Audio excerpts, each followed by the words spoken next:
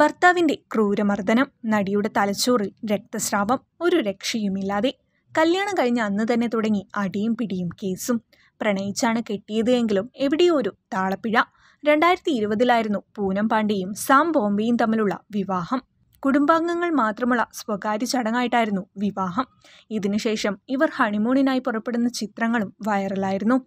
തന്നെ ലൈംഗികമായി പീഡിപ്പിച്ചുവെന്നും ഭീഷണിപ്പെടുത്തിയെന്നും ചൂണ്ടിക്കാട്ടിയായിരുന്നു നടി പൂനം പാണ്ഡെ പോലീസിൽ പരാതി നൽകിയിരുന്നത്. ഇതിനു പിന്നാലെ ഭർത്താവ് സാംബോംബയെ പോലീസ് അറസ്റ്റ് ചെയ്യുകയും ചെയ്തിരുന്നു. വിവാഹം കഴിഞ്ഞ് രണ്ടാഴ്ചയ്ക്ക് ശേഷമായിരുന്നു ഈ സംഭവം. എന്നാൽ പിന്നീട് പൂനം തന്നെ കേസ് പിൻവലിക്കുകയും ഇയാൾക്കൊപ്പം ജീവിതം തുടരുകയും ചെയ്തു. വീണ്ടും ഇതാ ഭർത്താവ് സാം ബോംബയ്ക്കെതിരെ ആരോപണവുമായി നടി പൂനം പാണ്ഡെ. സാം നിരന്തരം മദ്യപിച്ചെത്തി. തന്നെ മർദ്ദിക്കുന്നുവെന്നും ഒരു ഘട്ടത്തിൽ തനിക്ക് തലച്ചോറിൽ രക്തസ്രാവം ഉണ്ടായെന്നും പൂനം പറയുന്നു.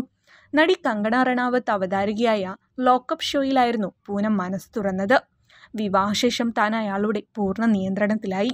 ഒറ്റയ്ക്ക് ഇരിക്കാനോ ഫോൺ ഉപയോഗിക്കാനോ അനുവദിച്ചില്ല. രാവിലെ മുതൽ രാത്രി വരെ മദ്യപിക്കും. ശാരീരികമായി ഉപദ്രവിക്കും. മർദ്ദനമേറ്റ് തലച്ചോറിൽ രക്തസ്രാവം ഉണ്ടാവുകയും വൈദ്യസഹായം തേടുകയും ചെയ്തു. ഇപ്പോഴും തലയിലെ പരിക്ക് മാറിയിട്ടില്ല. എനിക്ക് അയാളുടെ അനുവാദമില്ലാതെ വീടിന് പുറത്തിറങ്ങാൻ കഴിയില്ലായിരുന്നു. എപ്പോഴും അയാൾക്കൊപ്പം സമയം ചെലവഴിക്കണമെന്ന വാശിയായിരുന്നു കാരണം നിരവധി തവണ വിവാഹബന്ധം നിലനിർത്താൻ ഞാൻ ശ്രമിച്ചു. എന്നാൽ എനിക്കതിന് സാധിച്ചില്ല. എന്റെ ക്ഷമ നശിച്ചു. ഇപ്പോൾ ഞാൻ അയാളെ സ്നേഹിക്കുകയോ വെറുക്കുകയോ ചെയ്യുന്നില്ല എന്നാണ് പൂനം പറഞ്ഞത്. സ്നേഹം പിന്നെയും വാരിക്കോരി കൊടുക്കുന്നു. സമ്മാനമായി നല്ല അടിയും ഇനി പ്രതീക്ഷിക്കാം. ഫിലിം കോട്ട്. നിങ്ങളുടെ കരുത്തിൽ ഞങ്ങൾ ഉയരുകയാണ്. സബ്സ്ക്രൈബേഴ്സ് പത്ത് ലക്ഷം കടന്നിരിക്കുന്നു. സ്വർണ തളിക നേടാൻ സഹായിച്ചതിന് നന്ദി. നിങ്ങളും ബെൽബട്ടൺ അമർത്തോ. നല്ല വാർത്തകളുടെ നോട്ടിഫിക്കേഷൻ ഉടനെത്തും. വിശ്വസിച്ച് ഒപ്പം നിൽക്കുന്നവർക്ക് ഒരിക്കൽ കൂടി നന്ദി.